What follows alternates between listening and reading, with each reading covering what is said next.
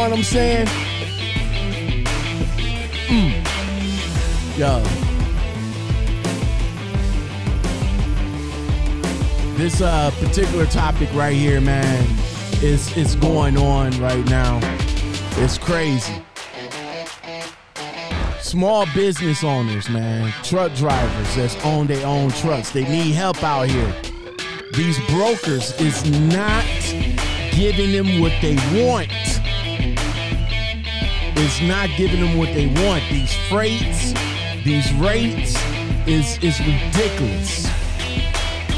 Let's talk about it. Let's talk about it right quick. These freight rates out here for these owner operators and these uh, independent contractors, it's crazy. What's going on, guys? Lockout men in the truck. What's going on? How y'all feeling? Welcome back to another podcast. Yo, I mean, I, I I talked to so many I talked to so many owner operators uh, that I haven't brought on a podcast that I will be getting more owner operators to come on a podcast to chop it up and and and talk to me about how they feel about getting raped. Pretty much, they're getting raped out here, man. And and as as for myself, that's that's inspiring to own my own truck and to go into the trucking business i i need to know and understand how to deal with these type of brokers out here these type of these these these type of brokers that's that's giving us shit rates. You know what i'm saying? And i need to learn how to deal with that. Well check it out man. Check it out. I um I came across a couple of a a, a, a, a couple of people, a couple of a couple of videos that they have made about their situations dealing with brokers, brokers that's that's that's that's giving them cheap freight, that's offering them cheap freight. You know, the last one I talked about, remember I told you guys that they offered him a dollar a little bit under a dollar a mile. Are y'all making money? Now, the same guy, Rick, he's back with another video and he he didn't want he just wanted to let you guys know that honestly the the brokers are are raping you guys pretty much Trinity Logistics. Now I'm not I'm not hip to them, but he he had an email from from a young lady that that uh, sent him an email, and honestly, she just pretty much came on and said, "Yo, yeah, we we we doing you guys bad. We we doing you guys real bad, and um and you can't do nothing about it." Now being that she pretty much put I mean put her uh put the company up under the bus, I'm not sure if she's going to be continuing to work there. But let's listen in on the conversation between him and the young lady. I'm going to call her and we're going to do this live. Uh, see if I can find her number. With no haircut, man. This is Angela. Hey, Angela. Good morning. Hey, this is Rick Santiago. How are you? Good. How are you? I'm all right. Listen, uh, I'm going to let you know right now that you are going to be a instant celebrity. You're on Facebook, uh, Facebook Live right now. Um, okay. I read your message, and uh, I want. I'm going to read what you said. Uh, I wanted to let you know that you are totally right about the brokers. I work for Trinity Logistics, and they are ripping off the drivers. We made a profit from 160 to 200 thousand dollars per month, so you have an idea. Is this what you sent me? That is correct. Okay. Um, why are you coming out and doing this?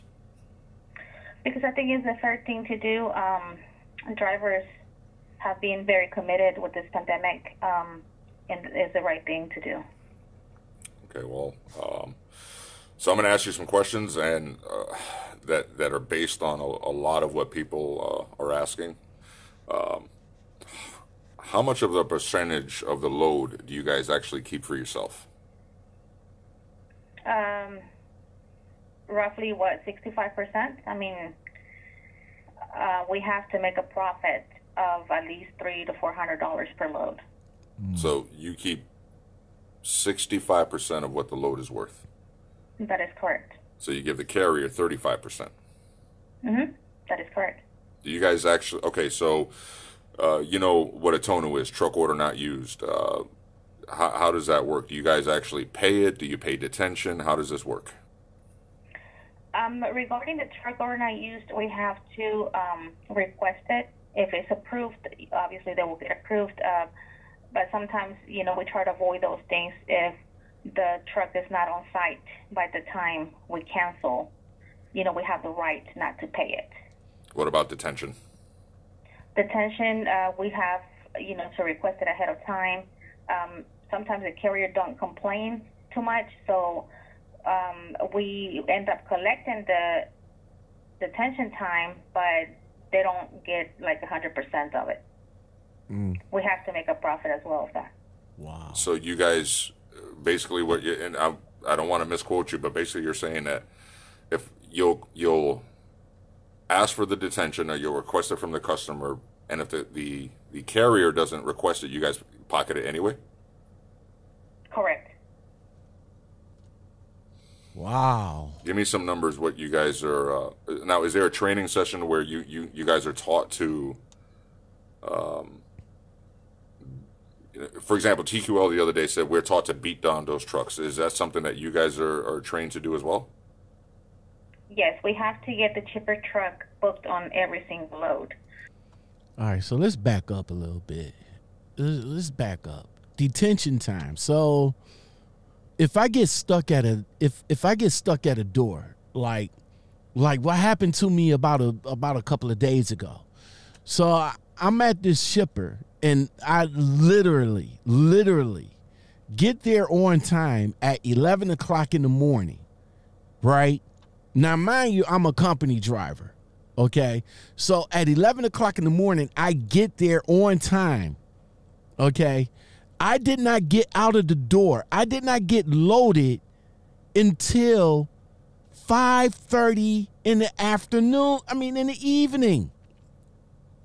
5:30. Five and a half hours I was stuck in the door. Now company drivers have to give two hours. So after that two hours, then I would get paid. Now I get paid three and a half hours for being stuck at the shipper. Now, this is company driver. Now, from what I'm understanding, is that if I don't ask for that three and a half hours detention time as a uh, as an owner operator or or independent contractor, I have to. They the broker will pocket that money. How fair is that? So if I don't ask for you ain't to turn around and tell me like, yo, lockout man, you know, we got three hours of detention time for you. Okay, give me that. They're going to pocket it anyway. That's crazy. Let's uh let's continue on. Um, for instance, I work with five other employees, and whoever has a cheaper truck will be booked on the load. Or even if someone already booked it, but I get another call that is cheaper, we'll just cancel that carrier. So you'll cancel the carrier, and what do you tell them? The load is being canceled by the customer. Wow. So uh, now hold on, because I'm, I'm going to explain this to people. So uh, we've all heard it. We'll book a load, and then all of a sudden, that broker will call us back and say, "Oh, the customer canceled the load." I have Angela from Trinity Logistics saying that that's their excuse because they actually found a cheaper truck. Um, that, that is correct. Wow, y'all hear that? So if you already so owner operators, uh lease contractors, if you book a load with Trinity Logistics, now this is Trinity Logistics. Now, I don't know about no no other brokers. If you guys look, listen, if you guys have situations like that and you want to come on and talk about it, yo, come on and get at me. Lockout Men Podcast at uh lockout men podcast at gmail.com or hit me up in the in the text 216-600-2090 hit me up in the text man so we can we could talk about how these brokers get over on you guys man. So if you get if you already are if you already booked the load with them and then somebody come somebody come and say hey i can do it for two dollars ten dollars fifteen dollars twenty dollars cheaper they'll call you back and say oh well you know the customer canceled the load Oh, the customer canceled the load. Okay, okay. Now remember about now. Remember when I when I talked when I had the other podcast and the guy, the other gentleman was talking about he was on his way to the shipper to I mean to the shipper to pick up the load, but he got called in the midst of going there and and he was and said he said that um that the the broker canceled the load. He said that the the the care the the shipper canceled the load. Okay, can I still get paid for being on my way there? No. So Trinity Logistics excuse is yo, customer canceled the load, even though another another trucker or another owner op or another independent contractor or a company called them up and say, "Hey, we'll do it for for for cheap. Give it to us." So, what is your? Um, I'm trying to ask as many questions as I can. Um, do you guys fine drivers for being late? Do you? Uh, wh- what do you do with that? We find them if they are late on certain appointment times. Um, sometimes the the customer requires a crane to be on site, and if they miss their appointment, obviously they get charged per hour for those cranes. What is your number one commodity? Um, anything. It will be construction supply material. It could be, um, you know, food for the um, dry van reefer load. So, food is an essential item right now during the, this pandemic, and you guys are still trying to charge as, as or pay as little as you can to these carriers. Correct. Hmm. Wow. Wow. Mm-mm-mm. Even in the midst of a pandemic, that, as he said, that food is a commodity. Like, you you still trying to undercut the the the, the owner operators, independent contractors, man. That's crazy. That is crazy. Wow. Uh, do you have a certain amount of money that you have to uh, save a month, or uh, how, how does this work? The money's always there from the customer. You can always request money from them. Um, they're everybody excuse right now. That that could be us. That could be anybody else. Is that the diesel price drop and everything? You know, we that we have to keep as much money we can in our pockets. Do you guys pay a fuel surcharge? I've never hauled for Trinity Logistics, so this is like news to me. Uh, uh, do you guys charge a fuel surcharge? You know, You don't pay for uh, meaning to your customer. Do you quote them a fuel surcharge as well? no, we don't. Wow. Well, there you have it. There you have it. Trinity Logistics, man. I mean, exposed. Is this young lady? I don't think this young lady gonna pretty much have a job after that. she pretty much exposed uh, Trinity Logistics. I mean, pretty much threw them up under the bus, man. But it's just unfortunate that these these these brokers out here that's doing these to the to you guys, man.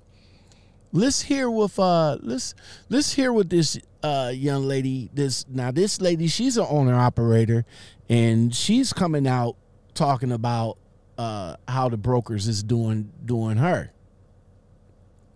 And I just wanted to bring something up. We really need help from the public. hold on right quick hold on Wow. hold on hold on right quick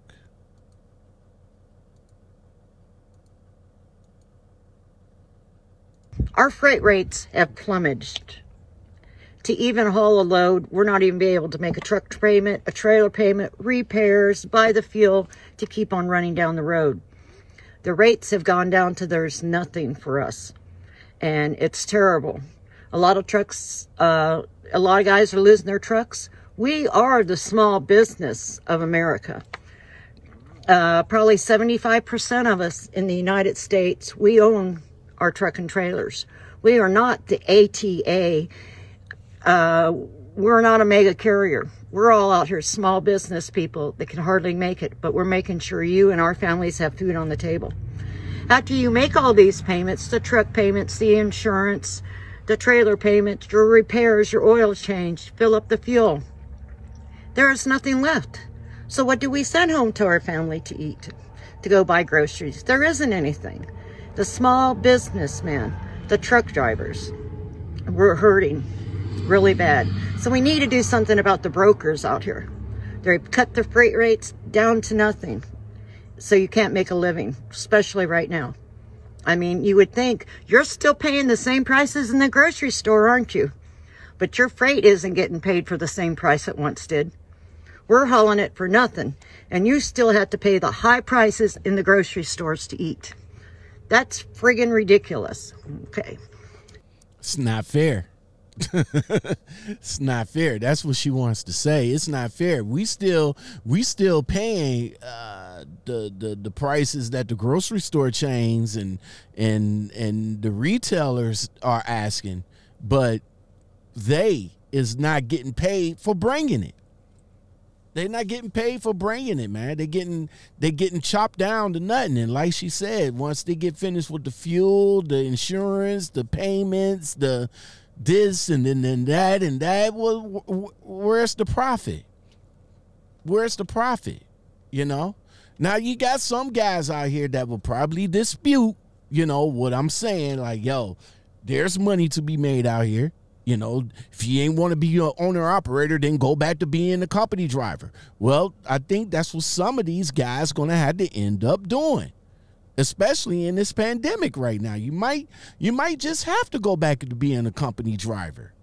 You know, you, you you're not getting paid enough to take care of the expenses. If you don't have, the, if you're not getting paid enough to take care of the expenses, then what's going to end up happening? Your truck's going to get taken from you, and you're going to have to end up going back to being a company driver to pay the the creditors for the truck that you still, I mean, that you don't have. Think about it.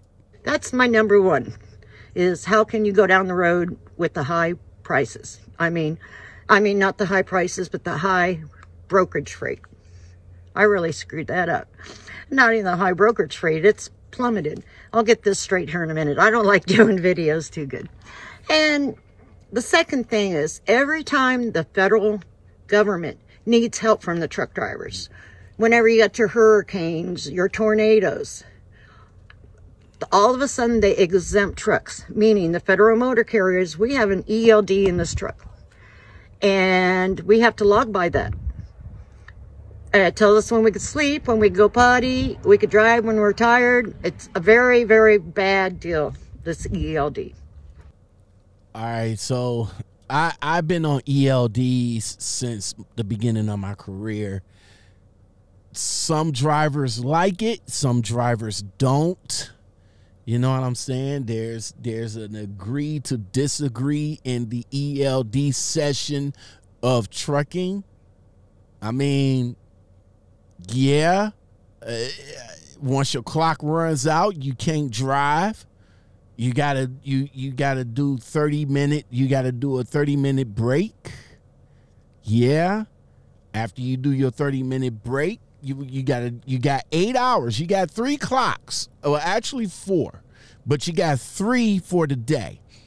Got your drive time, you got your shift, and then you got your your eight hour.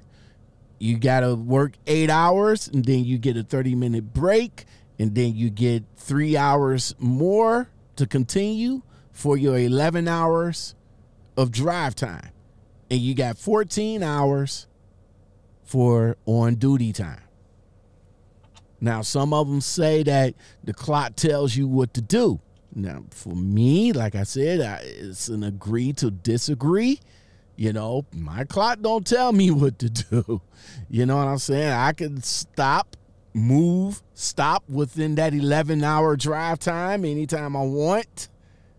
you know what I'm saying? I could do my 30, I could do my 30 more, I can do whatever. You know, but it isn't agree to disagree when it comes to the ELDs. But um but yeah, I mean, we got we when the federal government gets in a in a situation like like tornadoes or natural disasters or anything like that, they could say, "We're gonna cut your clock, bro. You can run all day, run all night, as long as you're doing it for us." But if you're not doing it for us, then you gotta abide by the laws of the clock. Just saying. So this pandemic, you know, some some some drivers are are exempt now. You know, they can run all day, run all night. You know, but until this pandemic is over with, then they gotta go back by the laws of the clock. So, what do you do? What do you do, drivers? You got some people out here that's talking, yo, I'm about to park my truck. I'm about to I'm about to park my truck. I'm not about to do this. Hey, let's get a coalition together and go to Congress. I mean, go to DC. I got one guy here that says don't do none of that. He says don't do none of that. There will be the, the food supply chain will be interrupted. It will be. That's just a matter of fact. So they don't know this. Here's how you fight them you take it to the news media. The news channels are the only ones that can bring light on this subject and be able to get things done. Uh, just like uh, MT Fuel Corp was saying, you know, the, the things about, um, you know, people that get scammed or whatever, they, they put that on the, on the news and the news goes out and they talk to these people and they get their money back and things like that. Uh, that's the way to fight it. Get a news person out there, and if you want to fight the brokers from taking more and more of the money, then you give those brokers' names out. That's how you do it. You fight them with your news. You fight them with the national news. So that's he said that's how you do it. He said bump going to Congress, bump going to DC, bump parking your trucks. Go to the news media. Think about it. That's not a bad idea. I mean, you know, when when you get when you get a, a news reporter involved in the situation, shit, they'll go over they'll bend over backwards to get that story. And to bring the story to the masses. That's how you fight it. You got to do something to get their attention. That's right. The only place you get people's attention is the news. That's it. You got to get the news and you got to get them involved. So, what you do is you take snapshots. You take snapshots, big face trucker, of all these low rates and you send them to the news and you send them and say, I'm supposed to be happy, be out here working. Everybody else not working is getting $600 a week. I'm supposed to be out here running this stuff for pennies. I'm losing money. And tell them what it costs to run your truck. Show them what they're trying to pay you to run America. That's how you fight it. So if every owner operator out there takes snapshots of these loads from these brokers and sends them and floods the emails of news media, or even goes down to their local news station and say, look, right here, take your phone, have it up on the brokerage, and show them the 70 cents, 80 cents, a buck. And say, you know what happens when it's like this, and if trucks can't uh, save enough money to repair when they break and everything, pretty soon there won't be that many trucks. Pretty soon you won't be able to buy food in the store. Exactly. Exactly. I I I I couldn't agree with him more. And I'm a company driver. But like I said, I got aspirations. You know, I got aspirations of of of becoming a becoming an owner op, you know, for, you know, becoming a and you know, truck trucker owner operator or independent contractor. I got aspirations. I, I want to make that power move someday, but not right now. Because right now, right now is not right now is not the time. You know? Right now, right now is not the time to go uh owner operator or independent contractor right now because the rates is just so so garbage. But you got like I said, you got guys like, you know, Rick you know, that's putting the coalition together to make that trip out to DC. And then you got guys right here that's telling you, yo, forget DC, put it on the news. Put it on the news. All these broker all these brokers, you know, they they doing you guys wrong. And for Trinity Logistics, well, you guys might just want to steer clear of them. you know, you might want to steer clear of them. So, all right. Well, that's it. That's all I got to say for this evening. Uh, I appreciate you guys coming on and hollering at your boy right quick. Yo, if you like content like this and more, don't forget to like, subscribe, comment, share, and hit that bell, that bell, that bell, and that all button for more. Yo, go check out my reaction page. I, I'm begin. I'm gonna go ahead and start throwing some content up on there because I got a lot of subscribers that's sending me a whole bunch of crazy ass videos that that I'm just like side eyeing. You know what I'm saying? But I can't bring them and put them more on my main page because you know YouTube always have a freaking issue. You know what I'm saying? Issue issue. Yes, YouTube. I'm talking to you.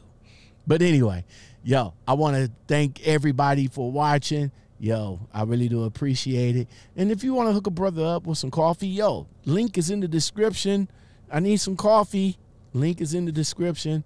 Yo, on that note, like I said, hit me up with some coffee and I will come back at you with another video. We are gone.